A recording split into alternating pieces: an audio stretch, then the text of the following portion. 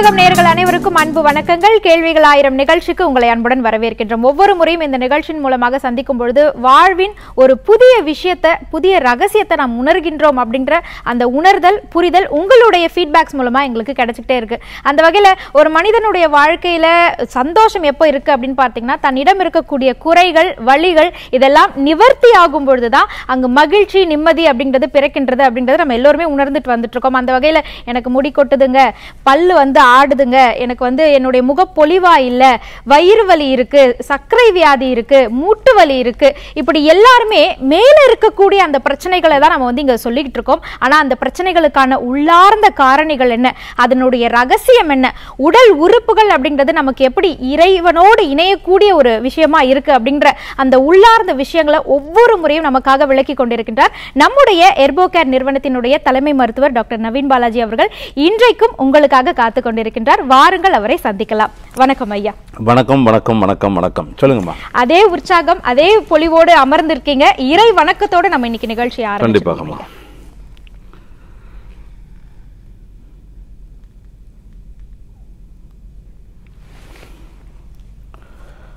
அகர முதல் எழுத்தெல்லாம் ஆதிபகவன் முதற்றே உலகு. வணக்கம் வணக்கம் வணக்கம் வணக்கம். நல்லதே நடக்கும். வணக்கம். சொல்லுங்கம்மா. நன்றிங்க நம்மளுடைய நிகழ்ச்சி இப்போ மட்டும் இல்லாம இந்த நிகழ்ச்சி முடிந்த பிறகு நிறைய பேர் இந்த வீடியோவை பார்க்கறாங்க அதற்கு வந்து ஒரு நல்ல வரவேற்பும் கொடுக்கறாங்க. நிகழ்ச்சியினுடைய தலைப்பிற்கு ஏற்றாற் போல அதனுடைய அடிநாதத்திலிருந்து எங்களுக்கு வந்து விளக்கிட்டு இருக்கீங்க. அந்த வகையில மக்களினுடைய பிரச்சனைகளை இதுவரைக்கும் உங்களுடைய அனுபவத்தின் மூலமாக எவ்வளவு பிரச்சனைகளை நீங்க சந்திச்சிருப்பீங்க அதற்கான தீர்வுகளை கொடுத்திருப்பீங்க ஐயா. உங்களுடைய அனுபவத்தை ஒரு குறிப்பா இல்லை நான் இதை ஒரு அனுபவம் அப்படின்னு பார்க்கறத விட ஒரு ஆர்வம் அப்படின்னு தான் நான் பார்க்குறேன். என்னன்னா எந்த ஒரு காரியத்தை செய்தாலுமே திறமை அப்படிங்கிறது ரெண்டாம் பட்சம்தான் எல்லாருமே சொல்லுவாங்க திறமை இருக்கணும் அப்படின்னுவாங்க அது வெற்றி அடைவதற்கும் சரி இல்லை எந்த ஒரு காரியமாக இருந்தாலும் சரி எந்த ஒரு செயல்பாடாக இருந்தாலும் திறமையை காட்டிலுமே ஆர்வம் இருந்தாங்கன்னா ஜெயிச்சிடலாம். ஆர்வம். ஆர்வம் தான் மிக முக்கியம். நிறைய பேத்துக்கு திறமை கிடையாது. ஆனால் முட்டி மோதி அந்த ஆர்வம் எப்பொழுதுமே அதோட ஈடுபாடு செயல்பாடு. அதுதான் மிகப்பெரிய அளவில் வளர்ச்சியை கொண்டு வரும். நீங்கள் பெரிய பெரிய சாதித்த மகான்கள்லாம் பாருங்களேன். அது சினிமா துறையாகட்டும் சரி நம்முடைய இசைத்துறை இளையராஜா ஐயாவாகட்டும் சரி இல்லை அரசியலில் நீங்கள் எடுத்துக்கோங்க பெரிய பெரிய சாதித்த தலைவர்கள்லாம் இந்த இடத்துக்கு வரும்பொழுது இல்லை பிறக்கும் பொழுது மிகப்பெரிய ஒரு ஏழையாகத்தான் பிறந்திருக்கிறார்கள். ஏன்? நம்ம தொலைக்காட்சியுடைய அவர்களுடைய தலைமையோட பார்த்தீங்கன்னா அவங்களாம் வந்து சாதாரணமாக இருந்து படிப்படியாக அவர்களுடைய ஆர்வத்தின் காரணமாக உழைப்பு. அதை புரிஞ்சுக்கணும். அது உழைத்து தான் மேலே வந்திருக்காங்க அந்த அளவுக்கு அப்போ எனக்கும் இதுதான் வந்து ஆர்வமாக இருந்தது விஷயம். திறமை அப்படிங்கிறதெல்லாம் ஆரம்பத்தில் எனக்கு கிடையாது. என்ன? இந்த மருத்துவத்தை பற்றி தெரியும். ஓரளவுக்கு தெரியும். அது மேலே ஒரு ஆர்வம் ஏற்பட்டது. அந்த ஆர்வத்தின் காரணமாக நான் முழுமையாக தேட ஆரம்பித்தேன். அந்த தேடல் தான் எனக்கு இவ்வளோ கொடுத்தது. இப்ப நிறைய இந்த குழந்தை வளர்ப்பில் என்ன சொல்லுவாங்கன்னா படிக்கும்போது ஞாபக சக்தி இல்லை. படிக்க மாட்டேங்கிறாங்க அப்படின்னுவாங்க. அப்படி இல்லை. எல்லாத்துக்குமே ஞாபக சக்தி இருக்கு. ஆனால் அதில் ஆர்வம் இல்லை. படிப்பில் ஆர்வம் இல்லை. இப்போ கணக்கு பார்க்கும்போது இப்படி அப்படியே தூக்கம் வந்துடுது அவனுக்கு பிடிச்ச சப்ஜெக்டாக இப்போ ஒரு கதை படிக்கிறாங்க குழந்தைங்க. உடனே மைண்ட் அடிக்க ஏன்னா ஆர்வம். ஒரு சினிமா பார்க்குறாங்க. ஒரு ஆர்வம். ஒரு விளையாட்டு ஆர்வம். அம்மாவா இல்லையா? அதனால எனக்கு இது ஒரு ஆர்வம் அவ்வளவுதான். ஒரு சேவை செய்ய வேண்டும் என்கின்ற ஒரு எண்ணம். இது ஒரு கதையின் மூலமாக விளக்கலாம்னு ஆசைப்படுறேன் நான். என்ன அப்படின்னா அரிஸ்டாட்டில் மிகப்பெரிய தத்துவ ஞானி கிரேக்க தத்துவ ஞானி. அவர் யார் அப்படிங்கிறது எல்லாத்துக்கும் தெரியும். இருந்தாலும் நான் சொல்லிடுறேன். சாக்ரட்டிஸ் மிகப்பெரிய தத்துவ ஞானி. அவருடைய ஸ்டூடெண்ட் பிளாட்டோ பிளாட்டோவுடைய ஸ்டூடெண்ட் வந்து அரிஸ்டாட்டில். அரிஸ்டாட்டிலுடைய ஸ்டூடெண்ட் யார் தெரியுமா? அலெக்சாண்டர். மாவீரன் அலெக்சாண்டர். மாவீரன் அலெக்சாண்டர் தான் அரிஸ்டாட்டிலுடைய ஸ்டூடெண்ட் அப்போ இந்த அரிஸ்டாட்டில் வந்து யார்கிட்ட இருக்காருன்னா பிலிப்ஸ்ட் இருக்காரு. மன்னர் பிலிப்ஸ் இருக்காரு. அவர் தான் வந்து அலெக்சாண்டருடைய அப்பா. அவர்கிட்ட வேலை பார்த்துட்டு இருக்கும் பொழுது என்ன நடக்குது அப்படின்னா ஒரு மிகப்பெரிய ஒரு போர் நடக்குது. அந்த போர் வந்து எல்லாமே ஜெயிச்சிட்டு இருக்கும்போது அந்த போரில் ஒரு தோற்கக்கூடிய ஒரு நிலை வந்துடுது அப்போ அங்கே இருக்கக்கூடிய படை தளபதி அவர் தடுமாறி நின்றுட்டு அவர் வந்து ஒரு பிணை கைதியாக பிடிக்கக்கூடிய காலம் நெருங்கிருச்சு. அவ்வளோதான் இது முடிஞ்சது இதுக்கு மேலே நம்ம தோத்துருவோம் அப்படின்னு சொல்லிட்டு இருக்கிற சமயத்தில் திடீர்னு பார்த்தீங்கன்னா ஒரு நூறு படை வீரர்கள் அந்த மன்னர் பிலிப்ஸ் அதாவது அலெக்சாண்டரோட அப்பாவை நோக்கி வேகமாக வராங்க குதிரையில. வரும்பொழுது இவரே பயந்துறாரு எதிரி நாட்டு படை போல இருக்கு அப்படின்னு. ஆனால் இல்லை இவரது படையே அங்கிருந்து வந்து அந்த கொரில்லா தாக்குதல்லாம் அந்த காலத்திலேயே இதெல்லாம் இப்போ கிறிஸ்து பிறப்பதற்கு முன்னாடி. கிறிஸ்து பிறப்பதற்கு முன்னாடி ஒரு முன்னூ இரநூத்தம்பது முந்நூறு வருடங்களுக்கு முந்நூறு வருடங்களுக்கு முந்நூற்றம்பது வருஷங்களுக்கு முன்னாடி நடந்த நிகழ்வுகள் இதெல்லாம். போய் தாக்குறாங்க. அவர்களை அங்கே நின்று எதிரி படையை தாக்கி அவர்களை வந்து காப்பாற்றுகிறார். அப்போது இவர் கேட்குறாரு அந்த படை தளபதி "அஹ், நான் இவங்களெல்லாம் பார்த்ததே இல்லையே. நான் என்னுடைய படைன்னு சொல்கிறீங்க நான் பார்த்ததே கிடையாது. எப்படி என்னை வந்து காப்பாற்றுறீங்க இந்த அளவுக்கு வந்து காப்பாற்றி மீண்டும் வந்து ஒரு வெற்றியை தேடி கொடுத்துருக்கீங்க. அப்படிங்கும்போது உங்களுக்கு யார் இந்த பயிற்சியெல்லாம் கொடுத்தது அப்படிங்கும்போது அரிஸ்டாட்டில் அப்படின்னு காமிக்கிறாங்க. அப்போ அரிஸ்டாட்டில் வராரு. எப்படிங்க ஐயா நானே பார்த்ததில்ல. இவ்வளோ பெரிய படை உருவாக்கியிருக்கீங்க அப்படிங்கும்போது அப்போ அவர் சொல்கிறாரு இவர் இங்கே யாருன்னு உங்களுக்கு தெரியுதா? தெரியல. கொஞ்சம் யோசனை பண்ணி பாருங்கள் பல வருடங்களுக்கு முன்னாடி இந்த படையில் எதற்குமே சரியில்லாதவங்க உயரத்திலும் சரி திறமையிலும் சரி இல்லை உடல் வாகிலும் சரி எதிர்கொள்ளக்கூடிய அந்த தன்மையிலும் சரி எதுக்குமே சரியில்லாதவங்கன்னு சொல்லிட்டு நீங்கள் வேலையை விட்டு நிப்பாட்டி வெளியே அமிச்சிங்க இல்லையா? அவர்கள் என்னிடத்துல வந்து முறையிட்டாங்க. அப்போது இவர்களை பயன்படுத்த முடியும். எப்படி கண்டுபிடிச்சேன்னா ஆர்வம் இருந்தது. திறமை கிடையாது. ஆர்வம் இருந்தது. அவங்க இடத்துல வந்து அதை எப்படி எதிர்கொள்ளணும்னு தெரியல. எந்த அறிவுமே கிடையாது. ஆனால் ஒரே விஷயம் ஆர்வம் அவ்வளோதான் இப்போ நீங்கள் கூட இந்த நிகழ்ச்சிக்கு வரீங்க பட்டு ஒரு பத்து வருஷத்துக்கு முன்னாடி நீங்கள் உள்ளே வரும்பொழுது எதுவுமே புரியாது தெரியாது. திறமை கிடையாது. ஆனால் உங்களது ஆர்வம் திறமை வந்து வளர்த்துச்சு. அதுதான் உண்மை. அப்போ சொல்றாரு இவர் இடத்துல எதுவுமே இல்லை ஆனால் ஆர்வம் இருந்தது நான் பார்த்தேன் நான். அந்த ஆர்வம் அவர்களை இந்த அளவிற்கு உருவாக்கி இருக்கிறது அவர்களுக்கான பயிற்சி கொடுக்கும் பொழுது அவங்களுக்கு நாட்டை காப்பாற்றணும் மனம் நல்லா இருக்கணும்.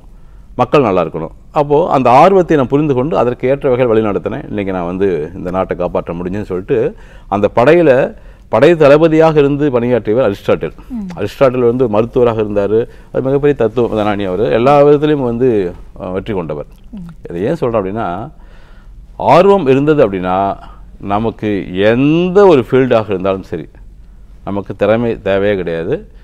அதனால் அது நம்மளுடைய வாழ்க்கையிலும் சரி இல்லை ஒரு சேவைக்கும் சரி ஆர்வம் தான் முக்கிய காரணம். நிச்சயமாக. நானும் உங்களிடமிருந்து இந்த ஆர்வத்தை என்றைக்கும் விட்டுடக்கூடாது அப்படின்ற அந்த பாடத்தை படிப்பினை இன்னைக்கு நான் எடுத்துக்கிட்டேன் ஐயா. நிறைய நேர்கள் காத்துட்டு இருக்காங்க கண்டிப்பா, பேசுவோம். வணக்கம். ஹலோ வணக்கம் வணக்கம் உங்க பெயர் சொல்லுங்கம்மா. சார் நம் மதுரையில இருந்து ஆனந்தலட்சுமி பேசுறேன் மேம். ம், ஐயா காத்துட்டு இருக்காங்க உங்களுடைய கேள்விகளை கேட்கலாமா? கேளுங்க. அம்மா வணக்கம் வணக்கம் வணக்கம் வணக்கம். வணக்கம் சார். வணக்கம். நல்லா இருக்கீங்களா? நல்லா இருக்கேன் சார் நல்லா இருக்கேன் சார். சொல்லுமா சொல்லுமா. ஆ, சார் என்னோட பொண்ணுக்கு வந்து வயசு பதினஞ்சு ஆகுது சார் அவளுக்கான ஒரு ஒன்றரை வருஷமாவே ஜா வந்து ரெண்டு பக்கம் கண்ணை எலும்பு வலிக்குது வலிக்குதுன்னு சொல்லிட்டே இருந்தா கனமான பொருட்கள் கொய்யாக்காய் அந்த மாதிரிலாம் கூட சாப்பிட முடியாம இருந்தா இப்ப பாத்தீங்கன்னா சாப்பாடு கூட அவளால ஆண் வாயை திறந்து கூட வாங்க முடியல சார் ஊட்டி விட்டா. அந்த அளவுக்கு அவளால வாயை திறக்க முடியாத அளவுக்கு ரெண்டு தாடையும் வலிக்குது. நாங்க கேட்டதுக்கு ஹாஸ்பிட்டல் போய் பார்த்துட்டு டென்டிஸ்ட் எல்லாம் பார்க்க சொன்னாங்க. அதெல்லாம் எந்த பிரச்சனையும் இல்லைன்னு சொல்லிட்டாங்க. அம்மா உங்கள் பேர் என்ன? என் பேரு ஆனந்தலட்சுமி சரிங்கம்மா. நீங்கள் சொல்கிற சிம்டம்ஸை பார்க்கும் பொழுது இது பல்லுலேயோ எலும்புலேயோ பிரச்சனை சரிங்க இந்த குழந்தைக்கு வந்து எஸ்எல்இன்னு சொல்லப்படக்கூடிய சிஸ்டமேட்டிக் லூப்பஸ் எரித்தமெட்டஸ் அப்படிங்கிற ஒரு வியாதி இருப்பதாக நான் உணர்றேன். அதாவது பார்த்தீங்கன்னா இந்த தோள்கள்லாம் ட்ரைனஸாக இருக்கும் இல்லையா? அதாவது பார்த்தீங்கன்னா தோலில் வந்து அதிகமாக வேர்வைத்தன்மை இருக்காது. அந்த தோள்கள் பார்த்தீங்கன்னா அந்த எலாஸ்டிசிட்டி கம்மியாக இருக்கும். நீங்கள் கொஞ்சம் பாருங்களேன் குழந்தை பக்கத்தில் இருக்கா பாப்பா? ஆமாம் நீங்கள் அந்த பாப்பாட்ட கேளுங்க வேர்வை அதிகமாக வராது. இல்ல சார் இவளுக்கான நல்லா வேர்த்து தான் சார் கொட்டும். என்னம்மா? வேர்வெல்லாம் வருது சார் ஓகே அப்போ கொஞ்சம் விளையாண்டாலோ வச்சாலோ ஓகே அப்போ வேர்வை வருது அப்படின்னா என்ன காரணம்னா அந்த உடம்புல இருக்கக்கூடிய அந்த சூட்டு தன்மையை போக்குவதற்காக வேர்வை வந்துட்டு இருக்கு. அது காலப்போக்கில் வந்து மாறுவதற்கான வாய்ப்புகள் மிக அதிகமாக இருக்கு. என்ன காரணம்னா இந்த தோல் எப்போ இறுக ஆரம்பிக்குதோ அப்போ இன்னும் பாதிப்பு அதிகமாகும். அதனால வந்து நீங்க என்ன பண்றீங்க அப்படின்னா அடிப்படை. இப்போ பாப்பா வந்து சொன்னிச்சு இல்லையா ஆர்த்தி. சார் நீங்க எதை சொன்னாலுமே வந்து அடி நாதத்திலிருந்து நீங்க சொல்றீங்க அப்படிங்கிற வார்த்தையை உபயோகப்படுத்திச்சு. நாதம் என்றாலே பெண்களுடைய அந்த அண்டகத்திலிருந்து உருவாகக்கூடியது நாதம். விந்து என்பது ஆண்களுடைய அடியிலிருந்து உருவாகக்கூடிய அந்த உயிர். அதனால தான் நாதம் உங்களுக்கு அறியாமல் நீங்கள் சொன்னீங்க. ஆனால் உண்மை அவ்வளோ சரியான ஆப்டான வார்த்தை அது. அதனால் அந்த நாதத்தை நாம் அந்த பாப்பாவுக்கு அதாவது அண்டகம் எந்த அளவுக்கு இருக்குது அப்படிங்கிறத பார்த்தால் மட்டும்தான் முழுமையான சிகிச்சை கொடுக்க முடியும். நீங்கள் நினைக்கிறது போல் இப்போ ஒவ்வொருத்தருமே சர்க்கரை பிபி தைராய்டு மூட்டு வலி முதுகு வலி கழுத்து வலி இடுப்பு வலி இந்த மாதிரி எல்லாமே சொல்கிறீங்களே தவிர அதுக்கான அடிப்படை ஆதாரம் எங்கே அப்படிங்கிறத நீங்கள் புரிஞ்சுக்கலாம். லாஸ்ட் வீடியோ நீங்கள் பார்த்துருந்தீங்கன்னா உங்களுக்கு புரிஞ்சிருக்கும். நமது உடல் உயிர் ரெண்டுக்கும் என்ன சம்மந்தம் உயிர் அப்படிங்கிறது எங்கே இருக்குது அந்த உயிர் தான் ஒட்டுமொத்த உடம்பு அந்த உயிர் தான் நமக்குள்ளே இருக்கக்கூடிய ஆற்றல் உயிர் தான் நமக்குள்ளே இருக்கக்கூடிய காந்த சக்தி மின்சார சக்தி அப்படிங்கிறத பார்த்தோம். ஸோ அந்த வீடியோ முதல்ல லாஸ்ட் வீடியோ நீங்கள் முதல்ல பாருங்கள் அதாவது காமத்திலிருந்து கடவுளை அடைவது எப்படி அப்படின்னு போட்டிருப்பாங்க. அதை முதல்ல பாருங்கள் நான் மதுரைக்கு வரும்பொழுது ஒரு முறை வந்து நேரில் சந்திங்க. எனக்கு பெண் குழந்தைகள் அப்படிங்கும்போது நம்ம அதுக்காக பைசா கூட நான் வாங்குறதில்ல. இலவசமாக தான் நான் பார்க்குறேன். ஒரு முறை வந்து பாருங்கள் கண்டிப்பாக குழந்தை முழுமையாக சரியாயிரும். சரிங்களாம்மா? ஒவ்வொரு முறையும் இந்த நிகழ்ச்சியின் மூலமாக பல்வேறு தகவல்கள் நமக்காக கிடைச்சிட்டு இருக்கு குறிப்பா இன்றைக்கும் நம்மளுடைய எர்போகேர் நிறுவனத்தினுடைய தலைமை மருத்துவர் டாக்டர் நவீன் பாலாஜி அவர்கள் பல்வேறு விளக்கங்கள் கொடுத்துட்டு இருக்காங்க இன்றைக்கு இது உங்களுக்கான நாள் என்று குறிப்பிடப்பட்டிருக்கு. அதனால நேயர்கள் கிட்ட நிறைய பேசலாம்னு ஐயா சொல்லியிருக்காங்க. ஐயா தொடர்ந்து நேயர்கள் இருக்காங்க. பேசுவோம் ஐயா. வணக்கம். வணக்கம் மேடம். வணக்கம் உங்க பெயர் சொல்லுங்கம்மா. நாங்க திருப்பூர்ல பேசுறோங்க மேடம். முருகேஸ்வரி மேடம். முருகேஸ்வரிமா உங்க கேள்விகளை கேட்கலாம். கேளுங்க. அம்மா வணக்கம் வணக்கம் வணக்கம். சார் வணக்கம் சார். நான் உங்களோட நிகழ்ச்சி எல்லாமே பாக்குறேங்க சார். நல்லா இருக்குங்க சார். ரொம்ப எங்க எல்லா சந்தோஷம் விதத்திலும் யூஸா இருக்குங்க சார். ஒரு நிமிஷம் சார். ஒரே நிமிஷம். சார் வணக்கம் சார். ஐயா வணக்கம் வணக்கம் வணக்கம். சொல்லுங்க ஐயா. சொல்லுங்க நல்லா இருக்கீங்களா? சரி நல்லா இருக்கீங்களா? முதல்ல நல்லா இருக்குன்னு சொல்லுங்க. நல்லா இருக்குங்க சார். ஏன்னா நாம நமது எண்ணங்கள் தான் நமது வாழ்க்கை. சரிங்க சார். அதாவது எண்ணங்கள் வேற சிந்தனைகள் வேற. அது ஒரு நாள் டாபிக் பேசுவோம் நாம. பொதுவாக புரியறதுக்காக எண்ணங்கள் நான் சொன்னேன்.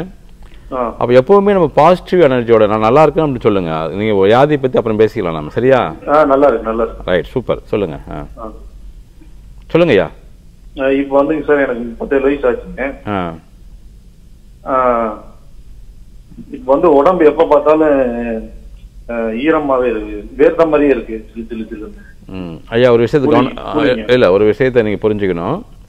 லாஸ்ட் கால் கூட ஒரு அம்மா திருச்சியிலேருந்து பேசுகிறேன் நினைக்கிறேன் திருச்சியிலேருந்து மதுரையிலேருந்து பேசுனாங்க. அந்த பாப்பா கூட பார்த்தீங்கன்னா வேர்வை அதிகமாக இருக்குன்னு சொன்னாங்க. நான் வேர்வை இருக்கா? இல்லையா? மேக்ஸிமம் இருக்காதுன்னு நான் சொன்னேன். இல்லை இருக்குது அப்படின்னாங்க. வேர்வை அதிகமாக வருகிறது என்றாலே வேர்வை வந்து நார்மலாக இருக்கணும். அந்த வேர்வை இல்லாமலும் இருக்கக்கூடாது நமக்கு குறைவாகவும் இருக்கக்கூடாது அதிகமாக இருக்கக்கூடாது. அப்போ வேர்வை நமக்குள்ள வருகிறது என்றாலே செரிமானம் முழுமையாக இல்லை மலச்சிக்கல் அதிகமாக இருக்கிறது தூக்கம் குறைவாக இருக்கிறது எல்லா ஜாயின்ஸ்லையுமே பார்த்தீங்கன்னா கழிவுகள் தேங்குகிறது குறிப்பாக இதயத்தில் பலவீனமாக இருக்கிறது என்று பொருள். அதனால தான் படபடப்பு இருக்கிறது பயம் இருக்கிறது தூக்கம் இல்லாமல் இருக்கிறது. ஐயா கேட்குதுங்களா ஆமாம் இப்போ நிறைய பேர் பார்த்தீங்கன்னா இந்த ஹார்ட் அட்டாக் அப்படிங்கும்போது டக்குன்னு வந்து வேர்வை தான் வரும் உங்களுக்கு. உடம்பு முழு வேர்க்கு அதிகமாக ஆரம்பிக்கும் இல்லையா? அப்போ இந்த வேர்வை அதிகம் அப்படின்னாவே நீங்கள் தயவு செய்து நம்மளுடைய உடம்புல எல்லா உறுப்பையும் பார்க்கணும். குறிப்பாக இதயம் அப்படிங்கிறது நம்ம கண்டிப்பாக யோசிக்கணும் நம்ம அப்போ அந்த இதயம் அப்படிங்கிறது பார்க்கணும்னா நம்மளுடைய நேரடி தொடர்பு எது அப்படின்னா அட்ரினல் சுரப்பி. அந்த அட்ரினல் சுரப்பி அப்படிங்கிறது சிறுநீரகத்தில் கிட்னியில் இருக்குது அதுதான் மூலாதாரம். அதுதான் பார்த்தீங்கன்னா விந்து பெண்களுக்கு நாதம். நீங்கள் திரும்ப திரும்ப எங்கே வந்தாலும் அங்கே தான் நினைப்பாங்க கரெக்டாக இருக்கும் உங்களுக்கு. அதனால் நீங்கள் முதல்ல என்ன பண்ணுறீங்கன்னா தம்பி தூக்கத்தை வந்து முறைப்படுத்திக்கணும். தூக்கம் வந்து நீங்கள் சரியானபடி தூங்குறதுல அப்படின்னாவே இந்த மாதிரி பாதிப்புகள் உருவாக ஆரம்பிக்கும். என்ன வேலை பார்க்குறீங்க நீங்கள் டெய்லருங்க டெய்லர் எப்படியும் வந்து பதினோரு பன்னெண்டு மணி ஆயிரம் நினைக்கிறேன் இல்லையா? ஆமாங்க. ஆமாம் அதுதான் மிக முக்கியமான காரணம். அது மட்டும் இல்லாமல் உங்களுக்கு மோஷன் பார்த்தீங்கன்னா பாதி போகும் பாதி போகாத ஒரு நிலை இருக்குங்க ஐயா. ஆமாங்க. ஆமாம் இதுதான் அடிப்படையான காரணங்கள். இதுதான் நம்மளுடைய இதயத்தை பலவீனமாக்கும். உங்களுக்கு பார்த்தீங்கன்னா எப்பவுமே ஒரு படபடப்பு இருக்கிற மாதிரியே இருக்கும். இதெல்லாம் சரியாயிரும். கவலைப்பட வேண்டாம். திருப்பூரில் நம்ம ஹாஸ்பிட்டல் இருக்குது நீங்கள் ஒரு முறை வாங்க. உங்களுக்கான சின்ன ஒரு மருத்துவ குறிப்பு வந்து நிகழ்ச்சியினுடைய கடைசியில் நான் கொடுக்குறேன். சரியா? நன்றிங்க. நல்லா இருக்கீங்களா? ஆ நல்லா இருக்குங்க. திரும்ப சொல்லுங்க. நல்லா இருக்கேன். நல்லா இருக்குங்க. Super super. வாழ்த்துக்கள். நன்றிங்க ஐயா. அழைத்ததற்கு மிக்க நன்றி. அடுத்த ஒரு நேரம் இருக்கிறார். பேசுவோம் ஐயா. வணக்கம். ஹலோ வணக்கம்மா. உங்க பெயர் சொல்லுங்க. சரஸ்வதிமா எங்கிருந்து அழைக்கிறீங்கம்மா? சென்னை. சரஸ்வதிமா உங்களுடைய கேள்விகளை கேளுங்க. ஐயா காத்துட்டு இருக்காங்க அம்மா வணக்கம் வணக்கம் வணக்கம் வணக்கம். சொல்லுங்கம்மா. ஐயா வணக்கம் ஐயா. வணக்கம் நல்லா இருக்கீங்களா? ஆ நல்லா இருக்கேன் ஐயா. நீங்க நல்லா இருக்கீங்களா? நல்லா இருக்கேம்மா நல்லா இருக்கேன். அருமையா இருக்கேன். சொல்லுங்க. வியாழக்கிழமை வந்து எங்க வீட்டுக்காருக்கு பார்த்தோங்க ஐயா. சரிங்க. Okay okay. பார்த்தோம். நீங்க எங்களுக்கு ஃப்ரீ ட்ரீட்மெண்ட்னு சொல்லிருக்கீங்க ரொம்ப நன்றிங்க அவங்க பாதத்தை தொட்டு கும்பிட்டுக்கிறேன் நான். அதாவதுமா என்னை பொறுத்த வரைக்கும் என்னன்னா இருக்கிறவங்ககிட்ட நாம வந்து காசு வாங்கிக்கிறோம். நானும் வந்து பார்த்தீங்கன்னா மருந்து தயார் பண்ணணும் சம்பளம் கொடுக்கணும் வாடகை கொடுக்கணும் எல்லாம் பண்ணணும் இல்லையா? அதனால. என்னுடைய நோக்கம் என்னன்னா இருக்கிறவங்ககிட்ட வாங்கிக்கிறோம் இல்லாதவங்களுக்கு உதவி பண்ணணும் அப்படிங்கறத என்னுடைய எண்ணம். ஆ, நீங்க வந்து பார்த்தீங்கன்னா நாளைக்கு நாளைக்கு வந்து மருந்து வாங்கிக்கங்க. வாங்கிட்டு கரெக்டாக ஃபாலோ பண்ணுங்க. ஒரு பத்து நாளையிலே ஒரு நல்ல மாற்றம் வந்துடும் கவலைப்பட வேண்டாம். சரியா? ஐயா இன்னொன்னு ஐயா. ஆ. எங்க பொண்ணுக்கு வீசிங் ப்ராப்ளம் இருக்கு. அத வந்து பொண்ணு கேக்குறாங்க ஐயா இத மாதிரி இருக்குதுன்றதுனால தெரிஞ்சவங்க எங்க சொந்தக்காரர் கூட தள்ளி போடுறாங்கய்யா கொஞ்சம் சரி நான் ஒன்று சொல்லட்டுமா? அவங்க வீட்டுக்காரர் கூட்டிட்டு வரும்போது பாப்பாவையும் கூட்டிட்டு வாங்க. பாப்பாவுக்கும் இலவசமா மருந்து தர சொல்றேன். ஃபாலோ பண்ண சொல்லுங்க. சூப்பர் ஆயிருவாங்க. சரியா? மறக்க மாட்டேன் ஐயா அதெல்லாம் ஒண்ணும் இல்லை. கடவுளுக்கு நன்றி சொல்லுங்கள். இந்த நிகழ்ச்சி பார்க்கறதே இறைவனது ஆசீர்வாதம். சரியா? நன்றாக குரு வாழ்க. குருவே துணையா. நன்றி. நன்றிம்மா மிக்க நன்றி. அழைத்ததற்கு மிக்க நன்றி. அவங்களுடைய மகிழ்ச்சியில கணவருக்கும் மகளுக்குமான ஒரு நலன் இருந்தாலே போதும். நான் மகிழ்ச்சி அடைஞ்சிருவேன். என் உயிர் உள்ளவரை வந்து நான் உங்களை மறக்க மாட்டேன் அப்படின்னு சொல்லும் பொழுதே அவங்க குடும்ப சூழல் அந்த உணர்வு நம்மளால வெளிப்படுத்த பார்க்க முடியுதுங்க ஐயா. அவங்களுடைய சார்பா நானும் இல்ல அதாவது நிறைய பேர் வந்து பெண்கள் அப்படின்னா அவங்களுக்கு பிரச்சனை இருக்குன்னு ஏகப்பட்ட பாதிப்புகள் இருக்குது ஆனால் அதை காட்டிலும் அவங்களுக்குள்ள மனசுக்குள்ளே என்ன ஒரு வழினா தன்னுடைய குழந்தைகளை பற்றியும் கணவரை அப்பா அம்மா இப்படி தான் மற்றவர்களுக்காக வாழக்கூடிய ஒரு என்ன சொல்லுவோன்னா ஒரு உயிர்னு சொல்கிறத காட்டிலுமே நம்ம சொல்கிறோம் இல்லையா? இதயம் நுரையீரல் கல்லீரல்னு சொல்லிட்டு. அப்போ நம்ம உடம்புல மிக முக்கியமான உறுப்பு எது? அப்படின்னு நம்ம சொன்னோம்னா சொல்ல முடியாது. அதே போல தான் இந்த உலகத்திலே மிக முக்கியமான உறுப்பு எதுனா உறுப்பு அப்படின்னா நான் பெண்களை தான் நான் சொல்லுவேன் நான். இப்போ ஒரு உயிர் அப்படிங்கிறது உருவாகுது. அந்த உயிருக்கு வந்து வடிவம் கிடையாது. உயிருக்கு வடிவம் கிடையாது. அது மைக்ரோஸ்கோப்பில் வச்சு பார்த்தா தான் தெரியும். அந்த வடிவம் இல்லாத அந்த உயிருக்கு வடிவத்தை கொடுப்பது பெண். உண்டா இல்லைங்களா? ஒரு குழந்தையை இந்த உலகத்திற்கு ஒரு வடிவமாக கொடுப்பது பெண். அதனால தான் இறைவன் வந்து அப்படிப்பட்ட ஒரு சக்தி வாய்ந்த இந்த கருவறையை இறைவனுக்கு சமமாக சொல்லப்படக்கூடிய அந்த கருவறையை கடவுள் இருக்கக்கூடிய இடம் கருவறை பெண்களுக்கு இருக்கக்கூடிய அந்த கர்ப்பப்பைக்கு பேரும் கருவறை தான் அது பெண்களுக்கு கொடுத்தாரு. இந்த உலகத்தில் எண்பத்தி நான்கு லட்சம் வகையான ஜீவராசிகளை கடவுள் படைக்கிறார். Eighty four lakhs. அதில் கடைசி படைப்பாக என்ன பண்ணுறாருன்னா போதும் படைப்பு இதுக்கு மேலே வந்து படைப்பு நிப்பாட்டிடலாம் அப்போது எல்லா விதமான ஆற்றலையும் ஒருங்கிணைந்த ஒரு சக்தியாக ஒரு படைப்பை படைக்கணும் அப்படிங்கிறதுக்காக தான் தனக்குள் இருக்கும் அத்தனை சக்திகளையும் ஒருங்கிணைந்து மனிதனை படைக்கிறாரு. முதல்ல ஆணை படைக்கிறாரு. ஆணை படைத்ததுக்கு பிறகு அவருக்கு திருப்தி இல்லை. ஏதோ சம்திங் ராங் ஏதோ ஒன்று மிஸ் ஆகுது. அப்போ இதை விட இன்னும் பெஸ்ட்டு இன்னும் கொடுக்கணும். அப்படின்னு சொல்லிட்டு அதுக்கப்புறம் போட்டு குழப்பி மண்டையை போட்டு குழப்பி இறைவன் எல்லாத்தையும் முடிச்சதுக்கு பிறகு தான் அந்த அர்த்தநாரீஸ்வரர் அப்படிங்கிற அந்த அமைப்போட அதாவது ஆணுக்குள்ள பெண்ணும் பெண்ணுக்குள்ள ஆணும் இருக்க தன்மையில் அன் அதாவது பார்த்தீங்கன்னா மெல்லியதாக மெலிதாக இருப்பாங்க இலகுவாக இருப்பாங்க பெண்கள் ஆனால் உள்ளுக்குள்ளே பார்த்தீங்கன்னா அந்த வீரம் அப்படிங்கிறது மிக அதிகமாக இருக்கும். நீங்கள் ஒன்றும் இல்லை சாதாரணமாக வந்து ஒரு சேவல் பறக்கிறதுக்கும் பெட்டைக்கோழி பறக்கிறதுக்கும் வித்தியாசம் இருக்குது மிக அதிகமாக பறக்கும். அது எப்படின்னா அந்த தன்னோட குஞ்சை வந்து பருந்தை தூக்கட்டும் பாருங்க. அவ்- அவ்வளோ பறக்கும் வேகம். அந்த நிறைய இடங்களில் பாருங்க. ஆஹ், ஒரு மனைவி இறந்துட்டாங்கன்னா கணவனால் வந்து வாழ முடியாது சஸ்டன் பண்ண முடியாது. ஆனால் கணவன் இறந்து நிறைய பெண்கள் தன்னுடைய குழந்தைகள் நாலு குழந்தைங்க மூணு குழந்தைங்க இருக்கும். அத்தனை குழந்தைங்களும் படிக்க வச்சு பெரிய ஆளாக்கியிருப்பாங்க. ஆனால் எந்த கணவனுமே அப்படி உருவாக்கினதா நான் ரொம்ப ரேர் ஏன்னா முடியாது. அது- அதுக்கான வாய்ப்புகள் அவர்களில் அந்த சக்தி அவர்கள்ட்ட கே- கடவுள் கொடுக்கல. இன்னும் அறிவியல் ரீதியாக பார்த்தோம் என்றால் நமது உடம்புல சக்தியை கொடுப்பதே கொழுப்பு தான் நம்ம உடம்புல சக்தியை கொடுப்பதே. வந்து கொழுப்பு தான் அந்த கொழுப்பு நல்ல கொழுப்பு இருபத்தைந்து சதவீதம் பெண்கள் இடத்துல இருக்கு. ஆனா ஆண்கள் இடத்துல பாஞ்சு சதவீதம் தான் இருக்கு. கடவுள் படைக்கும் பொழுதே அந்த குழந்தை பிறக்கணும் குழந்தைக்கு பால் கொடுக்கணும். அதே மாதிரி அந்த தன்மை எல்லாமே வந்து கொடுத்துருக்காரு. ஆய்வு என்ன சொல்லுதுன்னா கிட்டத்தட்ட பத்துலேருந்து இருபது வருடங்கள் பெண்கள் அதிகமாக உயிர் வாழ்கிறார்கள். ஆண்களை காட்டிலும் அப்படின்னு சொல்லிட்டு நான் சொல்லலை அறிவியல் ஆய்வு சொல்லுது.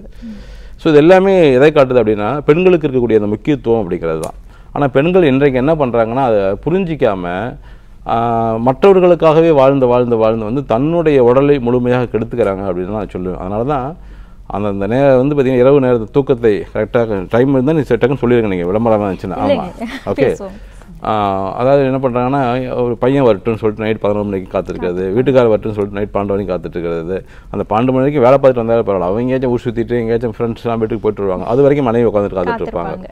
இப்படி காத்திருந்து காத்திருந்து தான் அவங்க உடம்பை கெடுத்து மூட்டு வலி முதுகு வலி கழுத்து வலி அதே மாதிரி இந்த குழந்தை பிறந்ததுக்கப்புறம் பாருங்கள் அது வரைக்கும் அவ்வளோ ஃபிட்டாக இருப்பாங்க. இந்த குழந்தை பிறந்ததுக்கப்புறம் இந்த உடம்பை கவனிச்சிக்க மாட்டாங்க. குழந்தைய பார்த்துக்கிட்டு கணவரை பார்த்துக்கிட்டு உடம்பு அதுக்கப்புறம் தான் உடம்பு பருமனாக மாற ஆரம்பிக்கும். அதுக்கப்புறம் தான் எல்லா பிரச்சனையும் வரும். அதனால் பெண்களை பொறுத்த வரைக்கும் பெண்கள் பெண்களுக்காக அவர்களுக்காக வாழணும் அப்படின்னு தான் நான் ஆசைப்பட்றேன். ஒரு நாள் முழுக்க வந்து பெண் நலம் பற்றி மட்டுமே ஒரு நாள் நம்ம பேசுவோம் ஐயா. இப்ப ஒரு நேர் இருக்கிறாங்க பேசுவோம் ஐயா. வணக்கம். ஹலோ வணக்கம். உங்க பெயர் சொல்லுங்க. ஹலோ வணக்கம். ஐயா உங்க பெயர் சொல்லுங்க. திருவண்ணாமலையில இருந்து செஞ்சிரகம் உங்க கேள்விகளை கேளுங்க ஐயா. ஐயா வணக்கம் வணக்கம் வணக்கம் வணக்கம். ஐயா வணக்கம். குருவே வாழ்க குருவே துணை குருவே வாழ்க குருவே துணை. உங்க பேர் ரொம்ப அழகா இருக்கு. செந்தில் அழகன். ஆமாங்க ஐயா. அழகா இருக்கு உண்மையிலேயே. நன்றிங்க நன்றிங்க ஐயா. சொல்லுங்க. ஐயா என்னுடைய மனைவிக்கு வந்து இந்த மாதவிடாய் காலத்துல அவங்களுக்கு வந்து நடக்க முடியாத ஒரு சூழ்நிலை ஏற்படுதுங்க. அதாவது இடுப்புல இருந்து வலி அதிகமா வருதுங்க. அவங்களுக்கு வந்து 45 வயது ஆகுது. ஓகே. அவங்களுக்கு வந்து அந்த ஏற்கனவே வந்து கொஞ்சம் இடுப்புல வந்து அந்த எல்போ எல்போல ஒரு சின்ன ஒரு பிரச்சனை இருக்கு. ஓகே. அந்த பிரச்சனைக்கு வந்து நாங்க அந்த ட்ரீட்மெண்ட் பார்த்துட்டு இருக்கோம் சரி. அவர் வந்து இடுப்புல வந்துட்டு பெல்ட் போடணும்னாரு. பெல்ட் போட்டாச்சு. ஓரளவுக்கு பரவாயில்லைங்க. ஆனாலும் அந்த மாதவிடாய் காலத்துல வந்து ஒரு நாலு நாள் முன்ன ஒரு நாலு நாள் பின்ன அந்த ஒரு வாரம் வந்து அவங்களால கால் அசைக்க முடியாத வந்து பயங்கர பெயின் வந்து ரொம்ப சிரமத்துக்கு உள்ள வராங்க ஐயா. இது சரி பண்ணதுக்கு எனக்கு ஒரு ஆலோசனை வேணும் ஐயா. மென்சஸ் எத்தனை நாள் ஆகுது அவங்களுக்கு? அவங்களுக்கு ஆறு ஏழு நாள் வருங்க ஐயா. ஆறு ஏழு நாள் ஆகுது. ஓகே. சரி நிகழ்ச்சியை பாருங்க. உங்களுக்கான பதில் நான் தெளிவாக கொடுக்குறேன். சரியா? சரி ஓகே பிரேக் எதாவது இருக்கா? இல்லைங்க ஒன்றும் இல்லை. ஓகே. ஒரு விஷயத்தை தெளிவாக புரிஞ்சுக்கணும். இந்த மாத விடாய் சமயங்களில் மிக அதிகமாக இருக்குது நடக்க முடியல அப்படின்னு சொன்னாங்க. நம்ம நிகழ்ச்சி ஆரம்ப காலத்துலன்னு சொல்லிட்டு இருக்கேன் நான். உடம்பில் ஏற்படக்கூடிய வலிகள் அப்படின்னாவே கர்ப்பப்பை அப்படிங்கிறது மிக முக்கியமாக இருக்குது யாரெல்லாம் கர்ப்பப்பையை ரிமூவ் பண்ணுறாங்களோ அவங்களுக்கு அதிகமாக மூட்டு வலி முதுகு வலி முடக்குவாதம் ஏற்படுவதற்கான வாய்ப்புகள் மிக அதிகம். நிறைய பேர் பார்த்தீங்கன்னா நடக்க முடியாமல் ரொமட்டைட் ஆத்தரைட்டிஸ்லாம் வந்திருக்கும். அது எப்போ அப்படின்னா குழந்தை பிறப்புக்கு அப்புறம். நிறைய நபர்கள் நிறைய நாங்கள் உங்களுக்கு வந்து இதெல்லாம் புதுசாக இருக்கும். நீங்கள் அந்த நோய்களை பார்க்கும்பொழுது குழந்தை பிறப்புக்கு அப்புறம் தான் இந்த மாதிரி வந்து முடக்குவாதம் அப்படிங்கிறது மிக அதிகமாக இருக்கும். இப்போ இவர் சொல்கிறார் இல்லையா எனக்கு வந்து பார்த்தீங்கன்னா இடுப்பில் வலி இருக்குது அதுக்காக நான் ட்ரீட்மெண்ட் பார்த்துட்ருக்கேன் அப்படின்னு. அதுவே முதல்ல வேண்டாம் நான் நினைக்கிறேன். என்ன காரணம்னா எலும்புகள் அப்படின்னாவே நமது சிறுநீரகம். சிறுநீரகம் என்றாலே கர்ப்பப்பை இல்லாட்டினா விதைப்பை. இதை நான் பலமுறை சொல்லியிருக்கேன். அப்போ அவர்களுக்குள்ள அந்த கர்ப்பப்பை பலவீனம் அப்படிங்கிறது இருக்கிற காரணத்தினால இந்த எலும்புல வலிகள் உருவாகுது. அந்த சமயத்தில் வந்து இன்னும் அதிகமாக வலி இருக்குது பார்த்தீங்கன்னா அந்த பாதிப்பு பார்த்திங்கன்னா ஏழு நாள் ஃப்ளோ இருக்குது அப்படின்னாரு. இன்னும் நம்ம கொஞ்சம் உள்ளார்ந்து போனோம் அப்படின்னா இன்னும் கொஞ்சம் அவங்கள்ட்ட நான் பேசலை நான். அதுக்குள்ள நீங்கள் இப்படி இப்படின்னீங்களா சரி ஏதோ பிரேக் விடணும் போல இருக்குன்னு சொல்லிட்டு நான் கட் பண்ணிட்டேன் நான். இன்னைக்கு மாத விடாய். அதான் நான் சொல்கிறேன் அதுக்கு என்னென்ன பேர் சொல்லுவீங்க சொல்லுங்கள் மாத விடாய் அப்புறம்? மாதவிடாய். அது வேற மாதிரி பெயர்கள்லாம் சொல்லுவாங்க. அதை பயன்படுத்த அதெல்லாம் நம்ம பயன்படுத்தாதனால தான் இவ்வளோ பிரச்சனை. அதாவது மாத விளக்குன்னு சொல்லுவாங்க. அதாவது இந்த வார்த்தை பயன்படுத்துகிறாங்களா இல்லை டேட்டு. அந்த அப்படின்னு சொல்லுவாங்க. அப்படின்னு சொல்லுவாங்க. ஆனால் உண்மையான வார்த்தை மாத விளக்கு மாத விளக்கு. வீட்டுக்கு விளக்கு தூரம் தூரமா இருக்கணும். தீட்டு. இதெல்லாம் சொல்லுவாங்க. இதெல்லாம் வந்து காரணங்கள் இருக்கு. இதெல்லாம் நம்ம பின்னாடி நம்ம பார்க்கலாம். சொன்னீங்க இல்லையா? இந்த பெண்கள் நலத்துக்காக ஒரு நிகழ்ச்சி பண்ணலாம் அப்படின்னு. அதில் வேணா நான் சொல்றேன் எல்லாமே உங்களுக்கு முழுமையாக. இந்த பெட் பெண்கள் நலம் அப்படிங்கிறதெல்லாம் எனக்கு வந்து ஒரு பத்து எபிசோடு தேவைப்படும் எனக்கு குறைஞ்சபட்சம். ஏன்னா அவ்வளவு விஷயங்கள் இருக்கு அதில். ஆனால் குழந்தை உருவாகிறதுலேருந்து கரு உருவாகிறதுலேருந்து குழந்தை பிறப்புலேருந்து அது ஒரு பெரிய ஒவ்வொரு subject. பாகமா பேசுவோம் அது ஒரு பெரிய சப்ஜெக்ட் அது ரொம்ப பெரிய சப்ஜெக்ட் ரொம்ப டீப்பாக போகணும் அதெல்லாம். சரிங்க சரி இப்போ நான் விஷயத்துக்கு வரேன் நான் இப்போ. இப்போது அவங்க நடக்க முடியாத காரணம் இந்த கர்ப்பப்பை பலவீனம். அப்போ இந்த கர்ப்பப்பை எப்போ பலவீனம் ஆகுது அப்படின்னா என்னென்ன காரணங்கள் அப்படின்னு நம்ம பார்த்தோம்னா இன்றைக்கி பிசிஓடி கட்டி ஏற்படுறதுக்கு ஃபைப்ராய்டு கட்டிகள் ஏற்படுறதுக்கு இதெல்லாம் என்ன காரணம் அப்படின்னா கருமுட்டை அப்படிங்கிறது நமக்குள்ள உருவாகாமல் இருப்பது அல்லது வளர்ச்சி அடையாமல் இருப்பது ரெண்டு விஷயம் இருக்குது இன்னொன்று என்னென்னா மெட்டபாலிசம் அப்நார்மல் அதாவது ம அதாவது நம்முடைய வளர்சிதை மாற்றம் அப்படிங்கிறது சரியானபடி இல்லாதது. இருபத்தெட்டு நாளைக்கு ஒரு முறை கண்டிப்பாக மென்சஸ் ஆகணும். அது குறைஞ்சபட்சம் ஒரு ஆறு நாள் ஏழு நாள் வரைக்கும் இருக்கணும். அந்த ஏழு நாளும் ஃப்ளோ அதிகமாக இருக்கணும். குறைஞ்சபட்சம் ஏழு நாள். ஏன்னா எப்படின்னா என்ன காரணம்? நிறைய பேருக்கு வந்து ஏழு நாளே தெரியாது அஞ்சு நாள் மூணு நாள்னுவாங்க. கேட்டால் இதுதான் எனது வாடிக்கை அப்படின்னுவாங்க. ஆஹ் முப்பத்தஞ்சு நாளைக்கு ஒரு முறை தான் வருது அப்படின்னுவாங்க. கேட்டால் இதுதான் சில நாளாக இருக்குது அப்படின்னுவாங்க. அவங்களுக்கு புரியல முதல்ல. அப்போது நமக்கு அமாவாசை பௌர்ணமி அப்படிங்கிறது நமக்கு வந்து பார்த்திங்கன்னா கரெக்டாக வந்து ஒவ்வொரு பௌர்ணமியும் இருபத்தெட்டு நாள் ஒவ்வொரு அமாவாசை இருபத்தெட்டு நாள். அந்த இருபத்தெட்டு நாள் ஒட்டி தான் நமது உடம்பே இருக்குது அப்போது ஒரு கரு உருவாகிறதுக்கு பதினான்கு நாட்கள் ஆகும். காத்திருப்பதற்கு அதாவது ஒரு உயிரணுக்காக காத்திருப்பது ஒரு நாள். அதற்கு பிறகு வந்து திரும்பி போகிறதுக்கு வந்து பார்த்திங்கன்னா ஆறு நாள். அந்த கழிவுகள் வெளியேற்றத்துக்கு ஏழு நாள். மொத்தம் இருபத்தெட்டு நாள் கணக்கு. ஆனால் இன்றைக்கி எல்லாருக்குமே பிரச்சனை இருபத்தெட்டு நாள் கிடையவே கிடையாது. அதுதான் இன்றைக்கி அடிப்படை. அப்போ அந்த கர்ப்பப்பை பலவீனம் அப்படிங்கிறது எங்கிருந்து ஆரம்பிக்குதுன்னு பார்த்தோம்னா குழந்தைகள்ல இருந்து ஆரம்பிக்குது. சாக்லேட் சாப்பிட்றதுலேருந்து இப்போ கூட சாக்லேட் கொடுத்தீங்க நீங்கள் பர்த்டே அப்படின்னு. முதல்ல பர்த்டே கொண்டாடக்கூடாது. அது தெரியுமா? சரிங்க ஐயா. அது ஏன் நான் சொல்கிறேன் நான் இப்போ. டைம் இருந்தால் அதே நான் சொல்லி பிடிச்சிடறேன் நான். சரிங்க ஐயா. ஆமாம் சாக்லேட் கொடுக்குறோம். இது வந்து ஒரு பெரிய இது வந்து மேற்கிந்திய கலாச்சாரமாக உருவாயிடுச்சு. நீங்கள் கால்ஸ் வேண்டாம் எனக்கு. ஆமாம் அப்போது சாக்லேட் சாப்பிட்றது பிராய்லர் கோழி சாப்பிட்றது பால் சாப்பிட்றது நிறைய பார்த்தீங்கன்னா இந்த ஸ்நாக்ஸ் சாப்பிட்றது. அப்புறம் பார்த்தீங்கன்னா வந்து நோய் எதிர்ப்பாற்றலை கொடுக்கக்கூடிய நிறைய பவுடர்ஸ் அப்படின்னு சொல்லிட்டு நிறைய பேக்கடு ஐட்டம்ஸு எல்லாமே கெமிக்கல்ஸ். எல்லாமே கெமிக்கல்ஸ். அதை வந்து கொடுக்கறது. அது மட்டும் இல்லாமல் இந்த மாத விளக்கு அப்படிங்கிறத நம்ம மக்கள் புரிஞ்சிக்கல. ஏதோ வந்து மென்சஸ் அப்படிங்கிறது மோஷன் போகிற மாதிரியும் யூரின் போகிற மாதிரியும் ஒரு சாதாரணமான ஒரு நிகழ்வாக எடுத்துக்கிட்டதுனால தான் இன்றைக்கு கர்ப்பப்பையில் இவ்வளோ பாதிப்புகள் உருவாகுது. இன்றைக்கு வந்து பெண் நம்மளுடைய பெண் குழந்தைகளுக்கு நம்மளே நிறைய தவறு பண்ணிகிட்ருக்கோம் நான் வரிசையாக சொல்கிறேன் கவனமாக கேளுங்க. அப்போது இவ்வளவு விஷயங்களை இவ்வளவு பா மோசமான உணவு வகைகளை கொடுக்கறதுனால தான் அந்த குழந்தை பார்த்தீங்கன்னா இன்றைக்கி எட்டு வயசில் மென்சஸ் ஆகுது இன்றைக்கி ஏஜ் அட்டன் பண்ணுது. ஒம்பது வயசில் ஏஜ் அட்டன் பண்ணாது. உண்மையான வயசு அப்படிங்கிறது அந்த காலத்தெல்லாம் பதினாலு பதினஞ்சு பதினாறு பதினேழில் தான் வந்து ஏஜ் அட்டன் பண்ணாங்க. எனக்கு தெரிஞ்சு இருபத்தஞ்சு இருபத்தி நாலு கூட ஏஜ் அட்டன் பண்ணியிருக்காங்க. அவ்வளோலாம் இருக்குது அதுதான் சரியான முறைகள். அப்போ எந்த அளவிற்கு அந்த குழந்தை லேட்டாக ஏஜ் அட்டன் பண்ணுதோ அந்த அளவுக்கு ஆயுள். இருக்கும். ஆயுள் காலம் இருக்குது நான் பல முறை சொல்லியிருக்கேன் உங்களுக்கு. ஐயா. அப்போ ஆயுள் காலம் அப்படிங்கிறது இந்த ஏஜ் அட்டன் பண்ணுறதை வச்சே நம்மளால் சொல்லிட முடியும். அப்போ ஏஜ் அட்டன் பண்ணது. அந்த ஏஜ் அட்டன் பண்ணதுக்கப்புறம் பார்த்தீங்கன்னா மிகப்பெரிய தவறுகள் மெட்டபாலிஸ் அப்நார்மலுக்கான காரணங்கள் அதெல்லாம் வந்து நம்ம அந்த உணவு முறைகளில் அது டீப்பாக பார்க்கலாம். நம்ம இன்றைக்கி நான் ஷார்ட்டாக முடிச்சிடறேன் நான். அப்போது இதெல்லாம் மெட்டபாலிஸ் அப்நார்மலுக்கான காரணங்களாக இருக்குது மூன்றாவதாக உடம்புல ரத்தம் உற்பத்தி இல்லாதது ஹீமோகுளோபின் ஹீமோ அப்படிங்கிறது வந்து இரும்பு குளோபின் அப்படிங்கிறது வந்து புரோட்டீன் அது தன் தனி ஒரே வார்த்தை கிடையாது. அது டபுள் வார்த்தை அது. அப்போது இந்த பற்றாக்குறை உடம்புல இருப்பது. இது அதுதான் நம்மளுடைய பிஹெச் வேல்யூ நம்முடைய ரத்தம் இருக்கு இல்லைங்களா? ரத்தம் வந்து பார்த்திங்க அப்படின்னா வந்து அசிட்டிக் தன்மை இல்லாமல் அல்கலைனாக இருக்கணும். அந்த தன்மை இல்லாமல் இருப்பது. அதே போல் பார்த்தீங்கன்னா ஹீமோகுளோபினோட லெவல் வந்து பன்னிரெண்டுலேருந்து பதினான்கு இருக்க வேணும். ஆனால் நம்ம பெண்களுக்கு எல்லாத்துக்குமே ஒரு ஏழு எட்டு அனிமிக்கா இருப்புன்னு சொல்லுவாங்க பாருங்க. ஆமாங்க. ஏன் ஆண்களுக்கு அனுமதிக்க இல்லை பெண்களுக்கு மட்டும் இருக்குது அப்போது இந்த தன்மைகள்னால ஒன்றா மென்சஸ் அதிகமாகும் இல்லை மென்சஸ் குறையும். இல்லாட்டினா வந்து இருபது நாளைக்கு ஒரு மாதிரி மென்சஸ் ஆவாங்க. இல்லைன்னா நாற்பது நாளைக்கு ரெண்டு மாதம் மூணு மாதம் ஆவாங்க. மென்சஸ் மிக அதிகமாக போகும். கட்டி கட்டியாக போகும். ஃபைபராய்டு கட்டி இந்த மாதிரி பிசிஓடி கட்டின்னு சொல்லிட்டு நிறைய விஷயங்கள் இருக்குது அது டீப்பாக போகும்போது நான் பேசுவோம் நாம. சரி.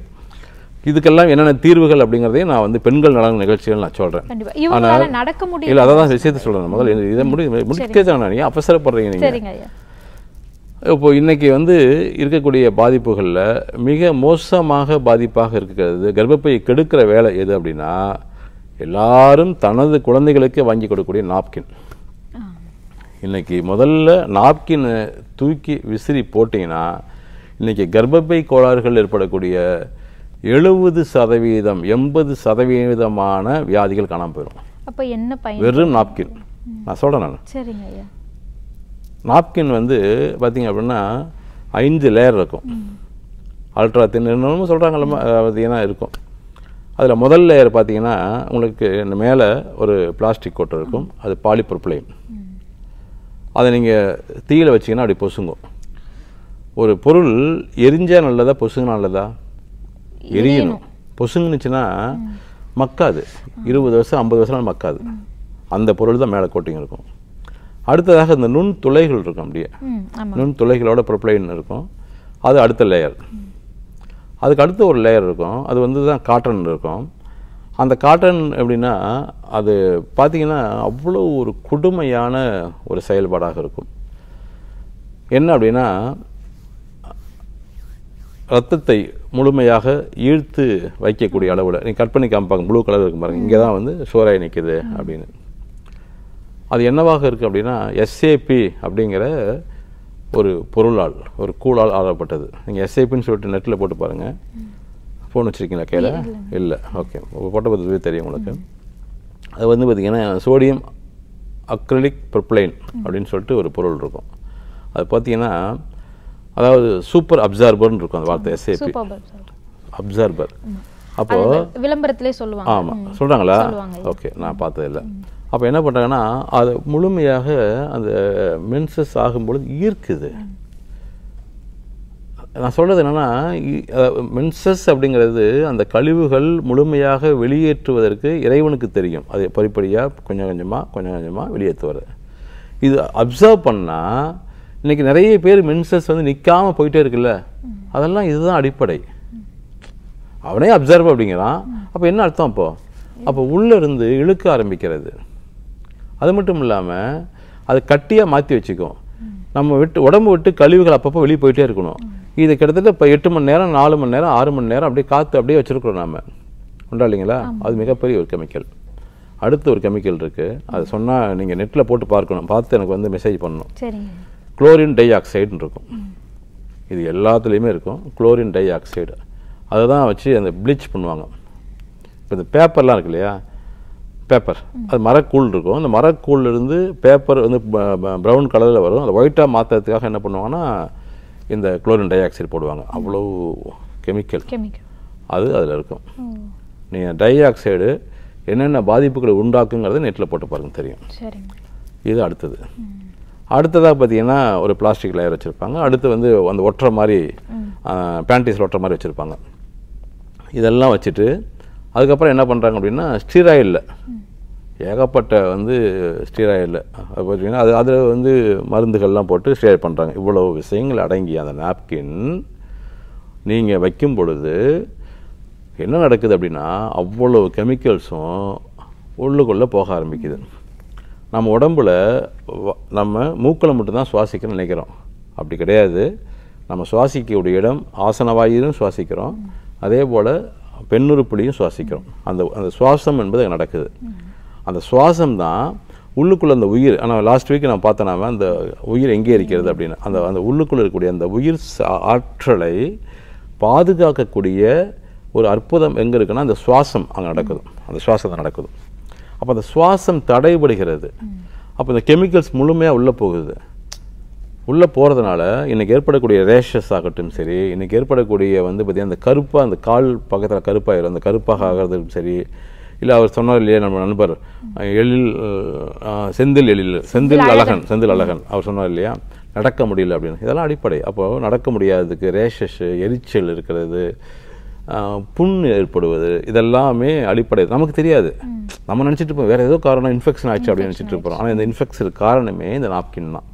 அதுக்கப்புறம் உள்ளே போகுது. உள்ளே போகுது வெஜினல் ஃப்ளூடுன்னு ஃப்ளூடு இருக்கும். அதாவது என்னன்னா இந்த ஒரு தொற்றுக்களை உள்ளே வரவிடாமல் தடுப்பதற்காக ஒரு வெஜினல் ஃப்ளூடு இருக்கும். இப்போ கண்ணுகளில் வந்து தூசிப்பட்ட கண்ணில் தண்ணி வரும். மூக்கில் வந்துச்சுன்னா தும்மல் வந்துடும் இருக்கு இல்லையா? அப்போ இந்த மீக்கஸ் அப்படிங்கிறது சளி படலம் அப்படிங்கிறது நம்ம நவதுவாரங்களில் எல்லா இடங்கள்லையுமே இருக்கும். அப்போ இந்த வெளியிலிருந்து வரக்கூடிய அந்த கிருமிகளை தடுப்பதற்காக இறைவன் கொடுக்கப்பட்ட ஒரு அற்புதம் தான் இந்த வெஜினல் ஃப்ளூட் அப்படிங்கிறது. அது இல்லாமல் ஆக்கிரும் ட்ரை ஆக்கிரும் நான் சொல்ல புரியுதுங்களா உங்களுக்கு? அப்படியே உள்ளே போகும்போது எண்டோமெட்ரிக்கில் பார்த்தீங்கன்னா உங்களுக்கு வந்து அங்கே புண் ஏற்படுவது.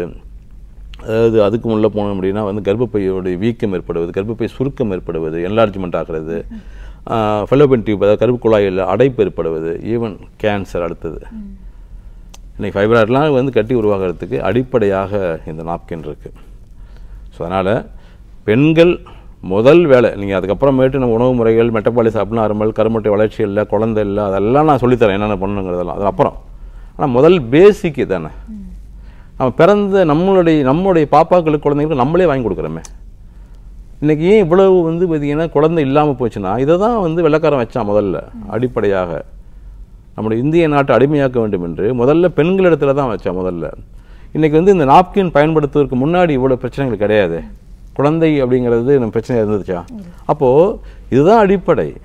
அப்போ இதை முதல்ல நம்ம பெண்கள் நிப்பாட்டணும் அப்படிங்கிறது தான் என்னுடைய ஆசை. அப்போ இதுக்கு என்ன பண்ணலாம்? மாற்று அப்படிங்கிறது நம்மளே எப்படி தயார் பண்ணலாங்கிறது நான் சொல்லித்தரேன் நான். அது வந்து பார்த்தீங்க அப்படின்னா நம்ம நான் நெக்ஸ்ட் வீக்கில் வந்து ஒரு இது மாதிரி நான் தரேன் நான் போட்டு காமிக்கிறேன் நான்.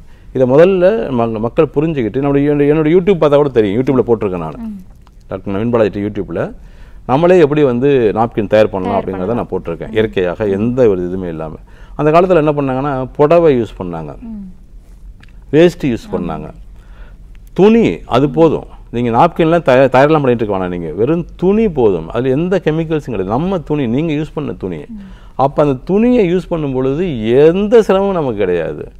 அது மட்டும் இல்லாமல் வீட்டில் இருக்கும்போது யூஸ் பண்ண வேண்டிய அவசியமும் நமக்கு கிடையாது. ஸோ அதனால் நம்முடைய நேயர்கள் இதை சரியாக பயன்படுத்தி வெறும் துணி மட்டுமே போதும் இது தேவையில்லாமல் செலவு பண்ணி நம்மளே நாமே வந்து சொல்லுவாங்க இல்லையா அந்த வடிவர் சொல்கிற மாதிரி தான் ஆப்பு நானே வச்சுட்டேன் அப்படிங்கிற மாதிரி தான் நம்மளுடைய பெண்கள் இருக்காங்க அப்படிங்கிறது தான் எனக்கு ரொம்ப கஷ்டமாக இருக்குது இந்த செந்தில் அழகன் அவர் வெள்ளூருக்கு என்னை வந்து பார்க்க சொல்லுங்கள் ஏன்னா வந்து பார்த்திங்கன்னா இது கர்ப்பப்பை சம்மந்தப்பட்ட பாதிப்பு அப்படிங்கிறதுனால அதன் பாதிப்பாக இந்த வலிகள் உருவாக காரணத்தினால எந்த ஆப்ரேஷனுமே தேவையில்லை.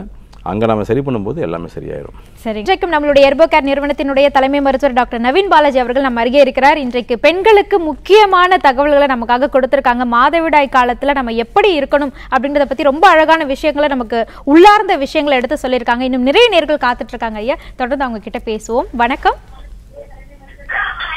வணக்கம். உங்க பெயர் சொல்லுங்க. நீங்க லைன்ல இருக்கீங்க டிவி பார்க்காதீங்க போன்ல கவனம் செலுத்துங்க. வணக்கம். லைனில் என்ன Hello? சிங்கத்து சிங்கத்தம் இல்லையா? ரவி ரவி. ஆ, ரவி ஐயா உங்க டிவி வால்யூம் குறைச்சிருங்க ஐயா நல்லா குறைச்சிட்டீங்களா? எங்க இருந்து பேசுறீங்க? அயப்பாக்கம் மேடம். ஐயா காத்துட்டு இருக்காங்க பேசுங்க ஐயா உங்க கேள்விகளை கேளுங்க. ஐயா வணக்கம் வணக்கம் வணக்கம். ஆ வணக்கம் சார். அம்மா நல்லா இருக்கீங்களா? ஆ நல்லா இருக்கோம் சார். சொல்லுங்க. எப்படி இருக்கீங்க? நல்லா இருக்கேம்மா நல்லா இருக்கேம்மா. சொல்லுங்கம்மா ப்ளீஸ் ஆ நல்லா இருக்கேன் சார்.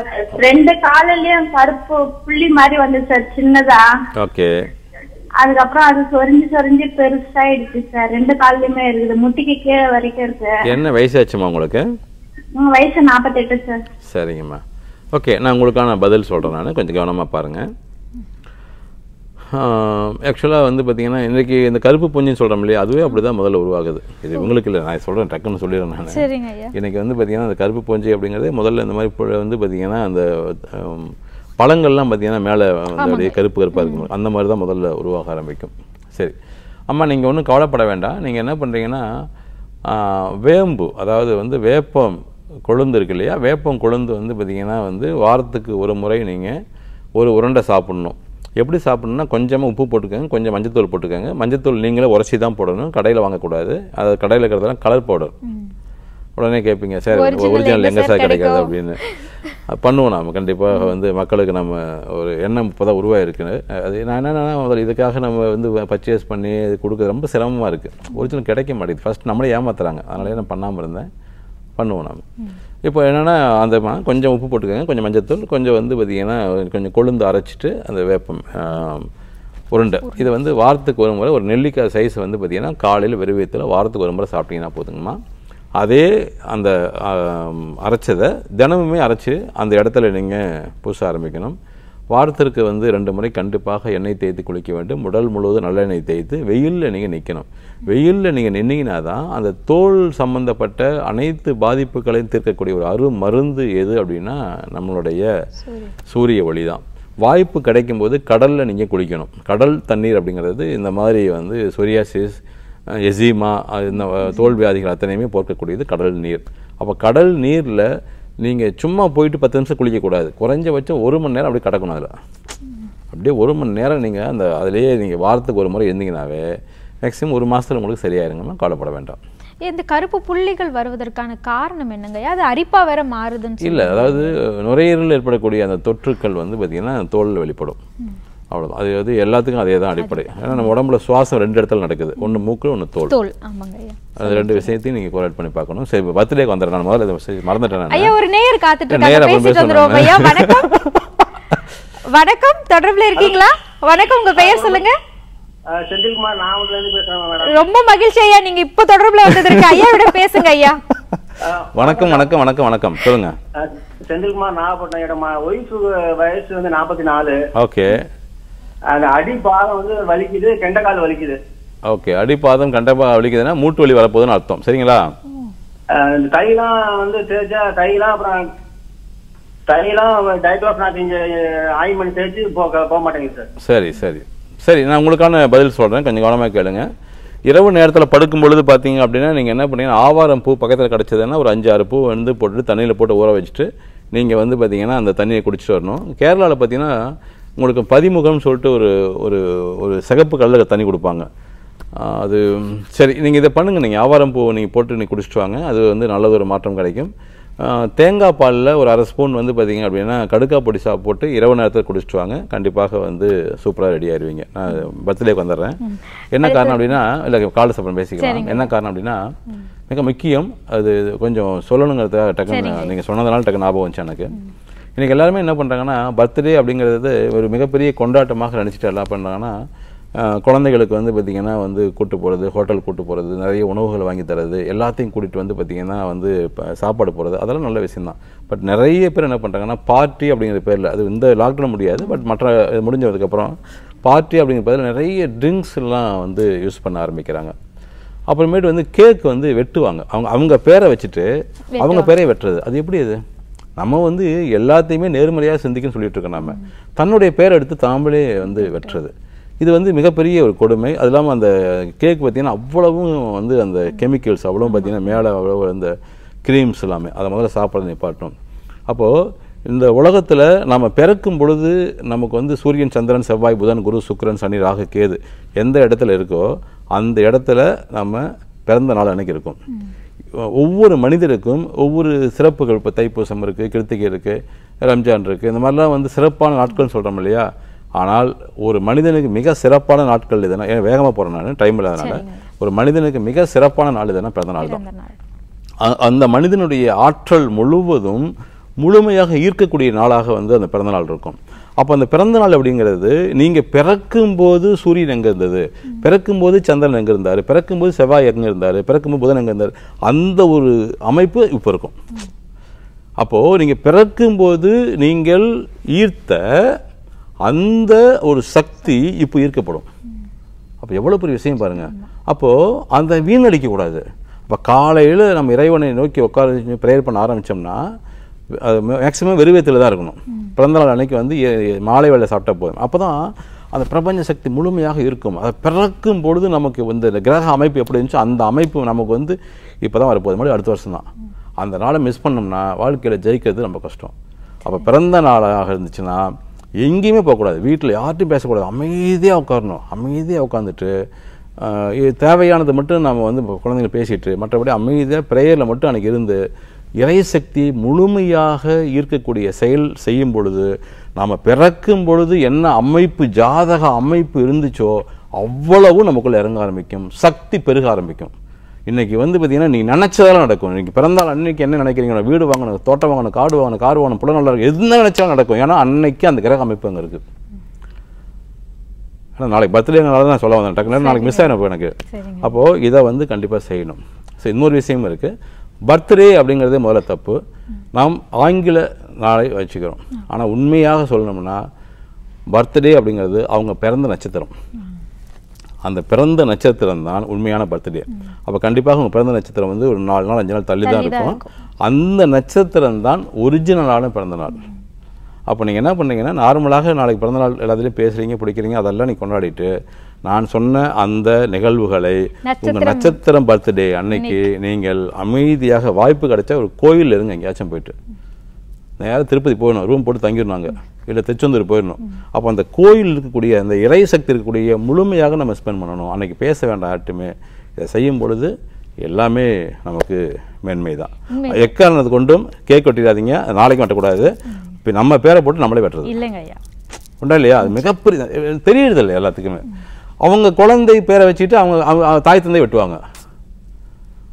அதனால தான் நம்ம வந்து இதை வேகமாக சொன்னேன் நான். எனக்கு மட்டும் இல்ல நிறைய பேருடைய பிறந்த நாளுக்கு ஒரு? பரிசை நீங்க கொடுத்துட்டீங்க. ஒரு நேர் காத்துட்டு இருக்காங்க. ஐயா. பேசுவோம் ஐயா. வணக்கம். ஹலோ வணக்கம். உங்க பெயர் சொல்லுங்க. தொடர்புல தான் இருக்கீங்க. உங்களுடைய பெயர் சொல்லலாம் நீங்க. வணக்கம். ஐயா நம்ம பேசிட்டு இருக்கும்போது ஒரு நேயர் கூட வீசிங் ப்ராப்ளம் இருக்குன்னு சொன்னாங்க. நிறைவா நான் நீங்க அவங்களுக்கு ஒரு டிப் கொடுக்குறேன் அப்படின்னு சொல்லியிருந்தீங்க. அதை பற்றி பேசுவோம் ஐயா. ஆக்சுவலாக வந்து இந்த வீசிங் அப்படிங்கிறது என்ன அப்படின்னா ரொம்ப கொடுமை. ரொம்ப ரொம்ப ரொம்ப ரொம்ப ரொம்ப கொடுமை. அதாவது மூச்சு விட முடியாது மூச்சு விடுறதுக்கு சிரமம்.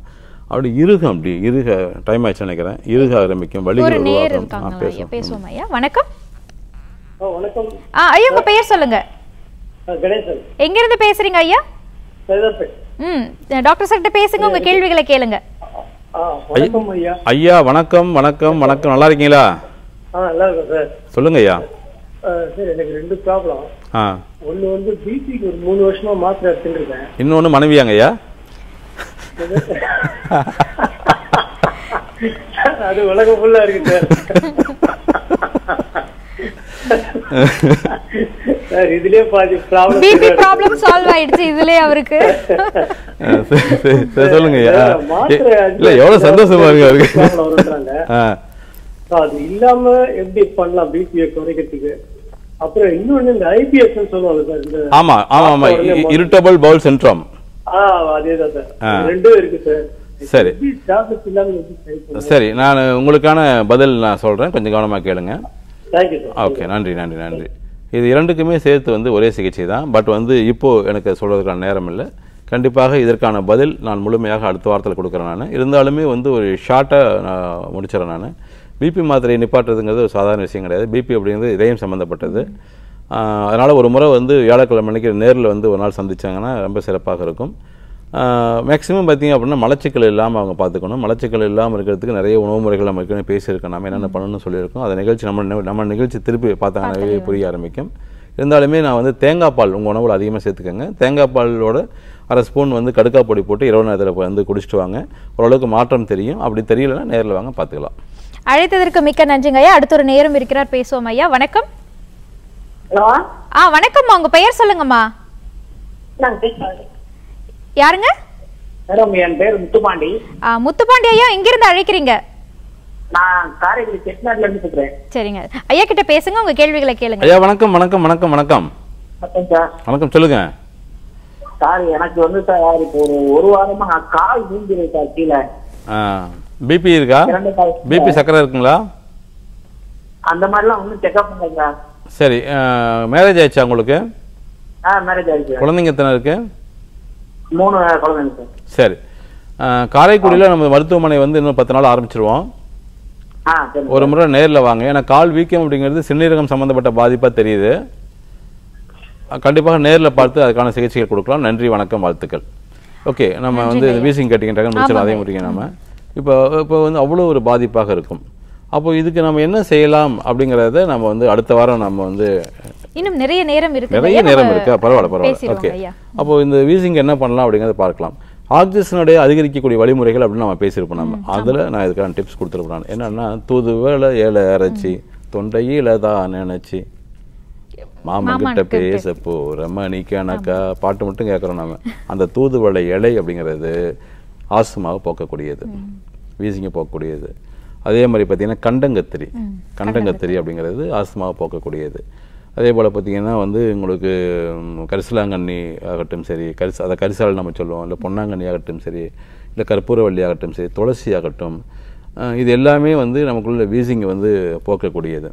அப்போ இதெல்லாம் முழுமையாக எப்படி பயன்படுத்தலாம் அப்படிங்கிறத நாம வந்து அடுத்த வாரம் நான் வந்து இந்த ஆஸ்துமா பற்றி அடுத்த வாரம் வந்து ஆஸ்துமா டாபிக் கூட நீங்கள் கேளுங்க. ஆஸ்துமானா என்ன சளி அப்படிங்கிற டாபிக் வந்து முழுமையாக நம்ம வந்து நெக்ஸ்ட் வீக் பேசலாம் நாம அது கொஞ்சம் டீப்பாக பேசக்கூடிய ஒரு வியாதி.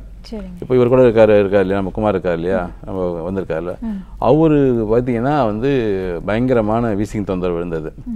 அதை நம்ம வந்து ஃபோன்லேயே கவுன்சிலிங்லேயே அவங்களுக்கு நம்ம சரி பண்ணோம் எப்படின்னா அவங்க ஒய்ஃப் என்ன பண்ணுவாங்கன்னா உள்ளே இருப்பாங்க இவர் வெளியில் இருப்பார். கரண்டி தூக்கி வீசுவாங்க. அதான் வீசிங். அந்த வீசி அந்த வீசிங். சட்டி தூக்கி வீசுவாங்க அந்த வீசிங். ஒரே பிரச்சனை. அப்புறம் ஃபோன்ல இருந்து அப்புறம் ஃபோன்லயே அந்த வீசிங் சரி பண்ணும் அது இந்த வீசிங் அது. அதனால வந்து வீசிங் அப்படிங்கிறது சாதாரண விஷயம் கிடையாது. இன்னைக்கு ஆக்சிஜன் பற்றாக்குறை தான் இவ்வளவு பெரிய பிரச்சனையா வந்து நிக்குது. உண்டா இல்லைங்களா? ஆமாங்க ஐயா. நிறைய பற்றாக்குறை. அடுத்த வாரம் கொஞ்சம் டீப்பாக பேசலாம் நம்ம நமது மருத்துவமனை தமிழகத்தில் கிட்டத்தட்ட வந்து ஐம்பது இடங்களுக்கு மேலே இருக்குது எல்லா ஊர்கள்லையுமே மருத்துவர்கள் இருக்காங்க. இப்போ இந்த லாக்டவுன் பீரியடில் கூட காலையில் எட்டு மணிலேருந்து மதியம் வந்து ரெண்டு மணி வரைக்கும் அனைத்து மருத்துவமனையும் இயங்கிட்டு இருக்கு அதனால் நீங்கள் வர முடியல அப்படின்னா நீங்கள் ஒரு மெசேஜ் ஃபோன் பண்ணீங்கன்னா மெசேஜ் அனுப்புவாங்க. நம்ம ஹாஸ்பிட்டலுடைய அந்த அப்பாயின்மெண்ட்டை கொடுக்கும்பொழுது நம்ம எங்கே போலீஸில் எங்கே காமிச்சாலுமே அதை அலோவ் பண்ணுவாங்க. ஆனால் மருத்துவத்துக்கு வந்து அதுக்கான அனுமதி உண்டு. அதனால் அவர்கள் நேரில் வந்து பார்க்கலாம். என்னைய நேரில் பார்க்கணும்னா இப்போ நான் சென்னையில் மட்டும் தான் இருக்கேன். வியாழக்கிழமை வியாழக்கிழமை தான் இருக்கேன். நான் லாக்டவுனால எந்த ஊருக்கும் நான் போகலை. பட் என என்னிடத்துல பயிற்சி பெற்ற மிகப்பெரிய நிறைய மருத்துவர்கள் எல்லா ஊர்களும் நூற்றி முப்பத்தஞ்சு டாக்டர்ஸ் இருக்காங்க. அவர்கள் உங்களுக்கான விளக்கங்கள் கொடுப்பாங்க. நோய்கள் எதுவும் தள்ளிப்படக்கூடாது நாம். அதே சமயத்தில் வந்து பார்த்தீங்க அப்படின்னா வெறும் மருந்துகள் மட்டும் நமக்கு பயன் கொடுக்காது. மருந்துகளோடு சேர்ந்து நம்முடைய வாழ்வியல் முறைகளையும் பின்பற்ற வேண்டும். அதே சமயத்தில் இந்த மருத்துவமனை உங்கள் ஊரில் ஆரம்பிக்கணும் அப்படின்னு நீங்கள் ஆசை ஆரம்பி ஆசைப்பட்டீங்கன்னா நீங்கள் ஃபோன் பண்ணீங்கன்னா நீங்கள் அதுக்கான வழிமுறைகள் சொல்லுவாங்க. உங்களால் எவ்வளோ இன்வெஸ்ட்மெண்ட் பண்ண முடியுமோ அதற்கு ஏற்ற வகையில் நம்ம அதுக்கு வாய்ப்புகளை நம்ம கொடுக்குறோம். எந்த ஒரு சூழ்நிலையிலும் உண்மையாக இருக்கணும். அந்த உண்மைத்தன்மை இருக்கும் பட்சத்தில் நம்ம ஜெயிக்க முடியும். அந்த உண்மைத்தன்மையோடு நீங்கள் ஹெர்போக்காரோடு இணைந்து பணியாற்ற வேண்டும் என்று விரும்பினால் அதற்கான வாய்ப்புகள் கொடுக்கப்படும். அதே போல் எல்லா இடங்களிலுமே டீ கடை வைக்க போகிறோம் நம்ம டீ அதாவது கிட்டத்தட்ட முப்பத்தாறு விதமான டீ. இப்போ அது இன்னும் எக்ஸ்டன் பண்ணிட்டு இருக்கோம் நம்ம ஐம்பது பக்கமாக கொண்டு வந்துட்டோம். ஒரு ஹார்ட்டாக ஒரு டீ. சொரியாசிஸா டீ முடி. இந்த மாதிரி வந்து எல்லா விதமான வியாதிகளையும் தீர்க்கக்கூடிய வகையில் அந்தந்த வியாதிகளுக்கு ஏற்ப வந்து தனித்தனி டீகளை நம்ம உருவாக்கி கொடுத்துருக்கோம். அது மருத்துவ குணம் மிக்க இல்லை. அவ்வளவு விஷயங்களை உள்ளடக்கி ஆனால் இப்போ இவ்வளோ தூரம் சொல்கிறோம்னா இப்போ அந்த மூலாதாரத்தை டச் பண்ணி அங்கேருந்து நமக்கு வந்து எல்லா வியாதியும் சரி பண்ணும். அந்த அளவுக்கு இருக்கும். இப்போ இங்கே மட்டும் நோய்கள் எங்கேயுமே குணமாகாத நோய்கள் நம்மளுடைய மருத்துவமனை எப்படி குணமாகுது அப்படின்னா இந்த அடிப்படையில் தான். அப்போ நோயினுடைய ஆதாரம் அதாவது பார்த்தீங்கன்னா எங்கிருந்து உருவாகிறது அப்படிங்கிறத பார்த்து தான் நம்ம வந்து சிகிச்சை கொடுக்குறோம். நோய் நாடி நோய் முதல் நாடு அது நினைக்கும் வாய் நாடி வாய்ப்பு செயல். அப்போ அந்த நோயினுடைய மூலாதாரம் எல்லோருக்குமே மேக்சிமம் எயிட்டி பர்சன்ட் ஆண்களுக்கு வந்து விந்துவாக இருக்கும் பெண்களுக்கு நாதமாக இருக்கும். அப்போது இதை நம்ம எப்படி டெவலப் பண்ணலாம் அப்படிங்கிறது தான் அதனால தான் ஆண்மை குறைவுங்கிறது ஒரு வியாதியே கிடையாது. அது ஒன்றுமே இல்லை. அது எளிமையாக சரி பண்ணக்கூடிய வேலை. அதனால தான் நான் வந்து அதை பற்றி நான் பேசுகிறதே கிடையாது நான். நம்ம இங்கெல்லாம் சரி பண்ணால் அங்கே சரியாயிரும். அது நீங்கள் வந்து பெண்கள் நலன் பேசும்போது ஆண்களுக்கு முக்கியம் நீங்கள் வந்து வாய்ப்பு கொடுக்கணும். பெண்களுக்கு மட்டும் இது பண்ணக்கூடாது. நான் வந்து பார்த்தீங்கன்னா ஆண்கள் பக்கம் நான் வந்து பார்த்தீங்கன்னா நான் வந்து கை தூக்குறேன் நான். அதனால ஆண்கள் நலம்னு ஒரு டாபிக் நம்ம வந்து பேசணும். அப்போ ரெண்டுமே நம்ம பேசும் பொழுது தான் இந்த குழந்தை பிறப்பு அப்படிங்கிறது மிக வந்து ஈஸியாக எளிமையாக எல்லோருக்குமே கிடைக்கும். இந்த குழந்தை செல்வம் அப்படிங்கிறது. அது என்னுடைய நோக்கம் வந்து என்னன்னா எல்லோரும் மருந்து இல்லாமல் வாழ வேண்டும் அப்படிங்கிறது தான் என்னுடைய நோக்கம். அதுக்காக தான் நமது பயணம். உடல் சார்ந்த நோய் மட்டும் இல்லாம நம்ம மனம் சார்ந்த நோய்களுக்கான தீர்வும் இதன் மூலமா கொடுக்க முடியும்? இல்லாம அதாவது உடல் மனம் ரெண்டையும் தயவு செய்து பிரிக்காதீங்க. அதாவது என்னன்னா மனம் அதாவது மனசு தான் அனைத்திற்குமான அடிப்படை. மனமது செம்மையானால் மந்திரம் ஜபிக்க வேண்டாம். அப்போ நம்ம ட்ரீட்மெண்ட்டே நான் வந்து வெளிப்படையாக பேசலை நான். இப்போ டைம் இல்லாதனால நான் பாட்டுக்குன்னா அந்த அந்தந்த அந்தந்த உறுப்புகளை மட்டும் பேசிட்டே போகிறோம் நம்ம. நம்ம பயிற்சி வகுப்பு நடத்துகிறோம் அதாவது மனம் என்னும் மாமருந்து அப்படின்னு சொல்லிட்டு. மனம் என்னும் மாமருந்து. அந்த நிகழ்ச்சி பார்த்தீங்கன்னா ஒவ்வொரு மாதமும் ஒரு நாள் கிளாஸ் நடத்துகிறேன் காலையில் ஆரம்பித்து ஈவினிங் வரைக்கும் நடத்திட்டு இருக்கேன் இந்த லாக்டவுன்னால இந்த ஒரு வருஷமாக நடத்தலை நான். அது இலவசம் தான் முழுக்க முழுக்க. உடல் மனம் ஆன்மா மூன்றையும் சுத்தப்படுத்துவது எப்படி? ஆன்மீகம் என்றாலே ஆன்மையை சுத்தப்படுத்துறது. அப்போ இந்த முறைகளை பண்ணும்போது எல்லாமே கிடைக்கும் நமக்கு. அதாவது பணமாகட்டும் செல்வமாகட்டும் பொருளாகட்டும் இல்லை ஆரோக்கியமாகட்டும் எதையுமே நீங்கள் தேடி போக வேண்டிய அவசியம். இல்லாமல் நமக்குள்ளே தான் அனைத்துமே இருக்குது அப்படிங்கிறத உணர வைக்கும் பொழுது நோய்களை பற்றிய பயம் அப்படிங்கிறது காணாமல் போயிடும் இப்போ திடீர்னு ஒரு முறை இல்லை இந்த இடத்துல திடீர்னு பாம்பு வந்துச்சு என்ன பண்ணுவீங்க? கொஞ்சம் ஓடுவீங்க இல்லையா? ஒரு பாம்பாட்டி இருக்கார் என்ன பண்ணுவார்? அவரு அத ஹேண்டில் ஏன்னா பாம்பை பத்தி தெரியும் அவருக்கு. பாம்பு என்ன பாம்பு என்ன வகை பாம்பு எப்படி பிடிக்கணும் என்ன பண்ணணும் எல்லாம் அவருக்கு தெரியும். தெரியுமா தெரியாதா. அதனால அவர் ஈஸியா இருப்பாரு. இப்போ நீங்க நமக்கு தெரியல ஓடுறோம். அதே தான் உங்களுக்கு உடம்ப பத்தி நான் புரிய வச்சுட்டேன்னா அப்புறம் எதுக்கு பயப்படுறீங்க நோயை பத்தி? ஆமா. அதுதான் என்னுடைய நான் அதனால தான் நான் சொல்கிறேன் மருந்து வேண்டாம் மருந்து வேண்டாம் மாத்திரை வேண்டாம் மருந்து வேண்டாம். உணவு முறைகள் போதும். இந்த உடம்பை பத்தி புரிஞ்சுக்கங்க இந்த உடல் மொழியை புரிஞ்சுக்கங்க. எல்லா விதமான நன்மைகளும் நமக்கு கிடைக்கும். நிச்சயமா நமக்கு இந்த இடத்துக்கு வரணும்ன்ற அந்த பிராத்தம் இருந்ததுன்னா நிச்சயமா நம்மளுடைய எர்பகேர் நிறுவனத்தை தேடி வருவாங்க. வரக்கூடியவர்கள் என்றைக்குமே திருப்பி மறுத்து போவே மாட்டாங்க. மறுபடியும் திரும்ப வந்து வாழ்வியல் முறைகளை கற்றுக்கொண்டு தான் போவாங்கன்றது உறுதியா கண்கூடா தெரியக்கூடிய ஒரு உண்மையா இன்றைக்கு எனக்கும் பிறந்தநாள் பரிசு கொடுத்ததற்கு மிக்க நன்றி ஐயா. ரொம்ப நன்றி. வாழ்த்துக்கள். உண்மையிலேயே நாளைக்கு பிறந்தநாள் அப்படின்னு சொல்லியிருக்கீங்க. ரொம்ப சந்தோஷம். வாழ்த்துக்கள். இறைவன் எல்லா விதமான நன்மைகளையும் உங்களுக்கு அள்ளித்தர வேண்டும் என்று பிரார்த்தித்து விடைபெறுகிறேன். நன்றி வணக்கம். நன்றி கையா. நேர்களே இன்றைய நிகழ்ச்சி உங்களுக்கு மிகவும் பயனுள்ளதாக அமைந்திருக்கும். மீண்டும் உங்களை அடுத்த நிகழ்ச்சியில் சந்திக்கின்றோம். நன்றி வணக்கம்.